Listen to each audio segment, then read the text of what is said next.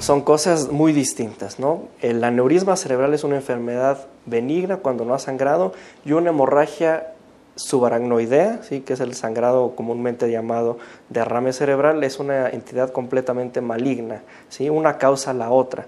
El aneurisma se rompe, causa una hemorragia subaracnoidea, un sangrado que es completamente maligno. ¿no? Entonces ahí hay mucho riesgo y el pronóstico es muy diferente.